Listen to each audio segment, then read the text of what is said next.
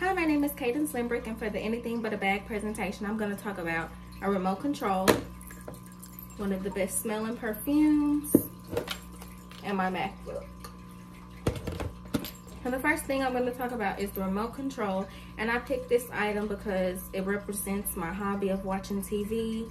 And whenever I was home, I would either be watching TV, hanging out with friends, working, shopping, going out to eat, or doing school. But since I've been away at college, the only things I've been able to do is watch TV and do school. And one of the shows that I'm watching right now is The Real Housewives of Atlanta. It's about um, women and all their business ventures, them taking trips together, their drama. You know, it's just about successful black women and it's very inspiring and keeps me up, uplifted. The second thing I'm going to talk about is my MacBook. I don't know where I would be without my MacBook. It really keeps me organized. Before I even got to college, I was able to complete 43 college hours on here, which made me enter as a sophomore, and I'm very proud of that.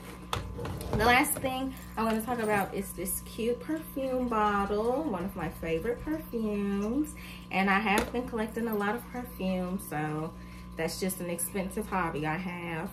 And the bag that I held everything in is this little lemon bag. Like I said, I do like shopping and I haven't been able to do that at school. So I decided to come home this weekend. And before I got home, I had to make sure I went and shopped because I don't know when I'm going to get the chance again.